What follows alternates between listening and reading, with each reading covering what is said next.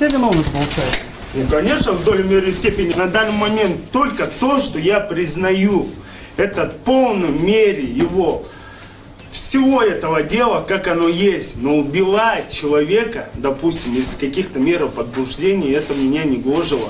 У кого был нож, соответственным образом он это и сделал. А у кого был нож-то?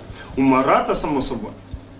Марат это сделал. Вы же не все же дети, никого нельзя заставить. Как это можно, допустим? Каждый человек знает, если он пошел в магазин за хлебом, он же не покупает себе жвачку, потом супом кушать. Ну вот и все. Соответственным образом он что хотел, он то и поступил.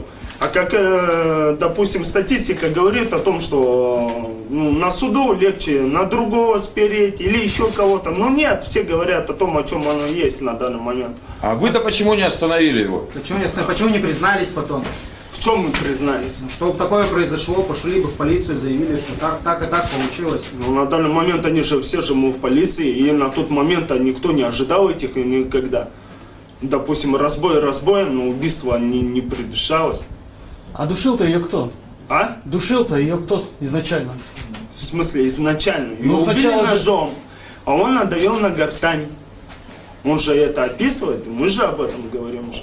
То есть он и душил, он и давил на гортань, он и ножом пырял, правильно? Ну, А вы-то что делали в этот момент? Почему не остановили его? Почему за а руку? никто не ожидал этого, это всего 2-3 минуты, этого вот. И пожалуйста. А какой план-то был? Что вы хотели? Просто заду- это, без сознания? Где уже- Но электрошокер изначально для чего предусматривался? Ну, помимо этого всего, что я вам хочу сказать, истина во всем раскаиваюсь так, как оно есть, соответственным образом.